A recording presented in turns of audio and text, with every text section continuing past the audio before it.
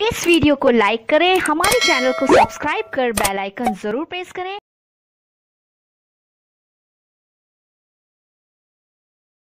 Hello दोस्तों, आप सभी का हमारे चैनल स्टडी रूप एजुकेशन में स्वागत है। आज के इस वीडियो में हम छत्तीसगढ़ शिक्षक भर्ती के लिए मैथ्स का एक महत्वपूर्ण टॉपिक, संख्या पर आधारित प्रश्नों को देखेंगे। तो चलिए वीडियो स्टार्ट करते हैं। पहला प्रश्न दिया गया है, अठहत्तर दिए गए अंक में तीन और आठ का स्थानीय मान और जातीय मान ज्ञात कीजिए। इस प्रश्न में तीन का स्थानीय मान ज्ञात करना है और आठ का जातीय मान। तो इस संख्या का स्थानीय मान ज्ञात करने के लिए आपको सबसे पहले अंकों लिख देना है। अंक यहाँ पर तीन है। तीन के पीछे में जितने भी अंक हैं, उतने ज़ीरो डाल देना है। अर्थात यहाँ पर तीन का स्थानीय मान तीन सौ होगा और जातीय मान वही अंक होती है तो आठ का जातीय मान आठ ही होगा। अगला प्रश्न देखते हैं। पाँच लाख सत्ताईस हज़ार चार सौ पैंतीस में सात और तीन के स्थानीय मानों का अंतर कितना है?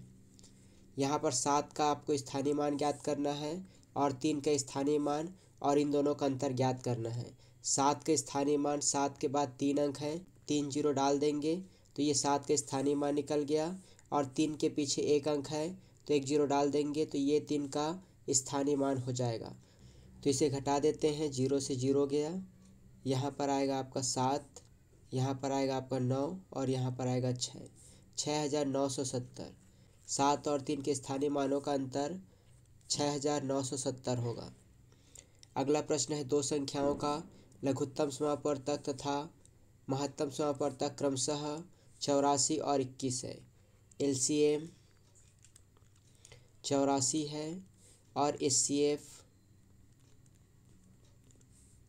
इक्कीस है। प्रश्न में आगे बोला है, यदि इन संख्याओं का अनुपात अनुपात दिया गया है, एक अनुपात चार। तो इसको आपको एक्स ले लेना है, पहली संख्या एक्स और दूसरी संख्या फोर एक्स आपको बताना है कि बड़ी संख्या कौन सी होगी तो यहाँ पर फोर एक्स का मान ज्ञात करना है। तो सबसे पहले हमें एक्स का मान ज्ञात करना पड़ेगा। तो इसके लिए एक रिलेशन होता है एलसीएम और एस को आप मल्टीप्लाई कर दोगे तो राइट साइड में भी आपका इन संख्याओं का गुणनफल हमें प्राप्त होगा। तो इसे लिख लेते हैं लघुत्तम समापर्तक गुणा महत्तम समापर्तक बराबर पहली संख्या, गुणा दूसरी संख्या। ये इसका फार्मूला होता है तो वैल्यू पुट कर लेते हैं। चौरासी आपका लघुत्तम है और इक्कीस महत्तम है, बराबर पहली संख्या एक सौ है और दूसरी संख्या चार एक सौ है। इन दोनों को आपस में गुणा कर देंगे तो ये हो जाएगा चार एक्स स्क्वायर यहाँ पर आपको मिला चार एक्स स्क्वायर इक्वल टू इन दोनों को ऐसे ही रहने देंगे चौरासी गुणा इक्कीस। ये जो चार है, वो नीचे चल जाएगा। तो नीचे ले आते हैं, इसे कटा देते हैं। चार एक कम चार चार दूना चार एक कम चार। यहाँ पर इक्कीस गुणा इक्कीस आया। मतलब एक्स स्क्वायर आपको मिला इक्कीस गुणा इक्कीस, अर्थात एक्स का मान मिलेगा आपको इक्कीस। तो इस प्रकार आप एक्स का वैल्यू ज्ञात कर सकते हैं। आपको प्रश्न में बड़ी संख्या बोला है तो फोर एक्स का मान ज्ञात करना है। तो एक्स के जगह इक्कीस रख देंगे तो आपको आंसर मिल जाएगा चौरासी। तो बड़ी संख्या होगी आपकी चौरासी। अगला प्रश्न दिया है, दो संख्याओं का लघुत्तम समापर तक तीस और महत्तम समापर तक पाँच है। उनमें से एक संख्या दस है तो दूसरी संख्या ज्ञात कीजिए। यहाँ पर भी वही रिलेशन यूज़ करना है। एल सी एम गुड़ा एस सी एफ़ बराबर पहली संख्या first number multiplied second number यहाँ पर एल सी एम है आपका तीस एच सी एफ़ है पाँच बराबर पहली संख्या है दस और दूसरी संख्या को एक्स ले लेंगे। ये आपका नीचे जाएगा तो यहाँ पर आ जाएगा आपका दस, ज़ीरो से ज़ीरो कटा, फिर आपको इसको गुड़ा कर देना है तो आपको एक्स का वैल्यू मिल जाएगा एक्स का वैल्यू मिला यहाँ पर पंद्रह। तो इस प्रकार आप ऐसे प्रश्नों को सॉल्व कर सकते हो। अगला प्रश्न है, किसी संख्या का तीस प्रतिशत यदि बारह दशमलव छः हो तो वह संख्या ज्ञात कीजिए।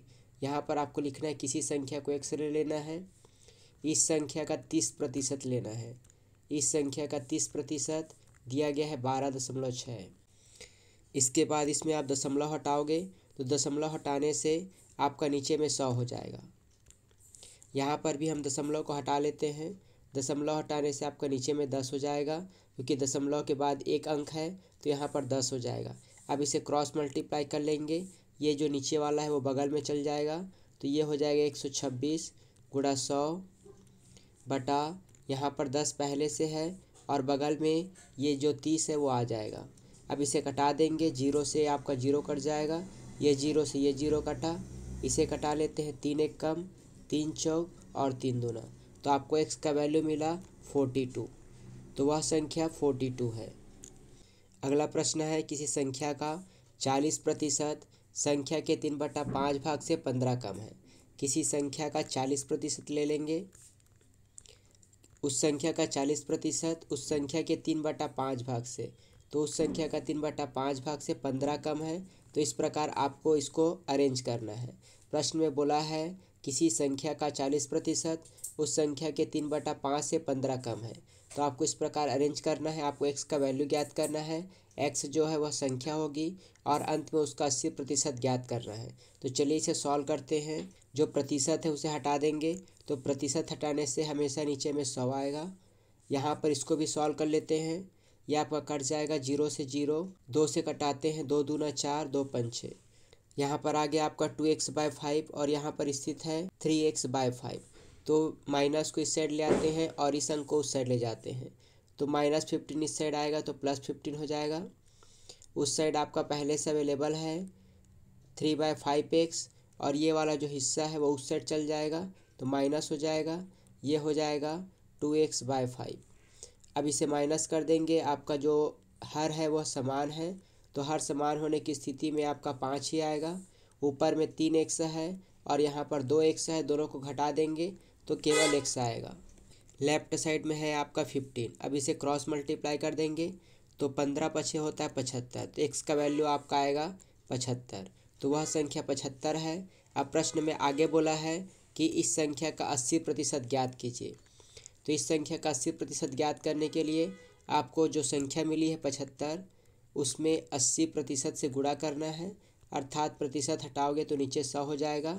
इसे कटा लेते हैं तो ये आपका आएगा पंद्रह। इसे कटाएँगे पाँच से तो पाँच बीसम होता है सौ। इसे कटा लेते हैं बीस एक कम बीस बीस चौक। तो आपका आंसर आया साठ। पंद्रह चौक को गुणा कर देंगे तो आपका फाइनल आंसर आएगा साठ। चलिए अगला क्वेश्चन देखते हैं। यह इस वीडियो का आखिरी प्रश्न है। प्रश्न दिया गया है, दो संख्याएँ पाँच अनुपात सात के अनुपात में है। दो संख्याएँ दी गई है जो कि पाँच अनुपात सात में है। प्रत्येक संख्या में आठ जोड़ने पर नई संख्या का अनुपात। अगर हम इस संख्या में आठ जोड़ देंगे अंश और हर में तो हमें प्राप्त होगा तीन बटा चार। तो जब भी अनुपात वाले क्वेश्चन आए तो आपको इसे एक्स के फॉर्म में लेना है। फाइव एक्स और सेवन एक्स। अब इसमें आठ जोड़ देंगे अंश और हर में तो अंश और हर में हम आठ जोड़ देते हैं तो हमें नया अनुपात प्राप्त होता है तीन बटा चार। इसे भी आप थ्री एक्स फोर एक्स लिख सकते हो, लेकिन यहाँ पर एक्स से एक्स कट जाएगा तो उसका कोई वैल्यू नहीं है। अब इसे आपको सॉल्व करना है क्रॉस मल्टीप्लाई करते हैं। फोर को जब आप फाइव एक्स से मल्टीप्लाई करोगे तो आपको मिलेगा ट्वेंटी एक्स प्लस फोर को एट से करोगे तो आपको मिलेगा थर्टी टू इक्वल टू इसे क्रॉस कर लेते हैं तो ये हो जाएगा ट्वेंटी वन एक्स प्लस इसे क्रॉस कर देंगे तो ये हो जाएगा ट्वेंटी फोर। अब नंबर को एक साइड ले जाना है तो यहाँ पर अगर आप एक्स को इस साइड ले जाओगे तो ट्वेंटी एक्स में से एक्स जब माइनस हो जाएगा तो आपको मिलेगा एक्स अगर आप ट्वेंटी फोर को माइनस करोगे तो आपको मिलेगा एट। तो यहाँ पर एक्स का वैल्यू आया आपका एट। आपको पूछा है कि मूल संख्याएँ क्या है तो मूल संख्या थी फाइव एक्स और सेवन एक्स। तो उसका वैल्यू आपको रख देना है फाइव एक्स यहाँ पर दिया गया है संख्या फाइव एक्स और दूसरा है सेवन एक्स तो यहाँ एक्स के जगह हम वैल्यू पुट करेंगे तो ये हो जाएगा आपका चालीस और दूसरी संख्या हो जाएगी सात गुड़ा आठ तो सात अट्ठे होता है छप्पन। तो पहली संख्या हमें मिली चालीस और दूसरी संख्या हमें मिली छप्पन। तो ये हुआ संख्या पर आधारित कुछ महत्वपूर्ण प्रश्न। अगर आपको वीडियो अच्छी लगी होगी तो वीडियो को लाइक कीजिए और आगामी वीडियो प्राप्त करने के लिए हमारे चैनल को भी सब्सक्राइब कर लीजिए।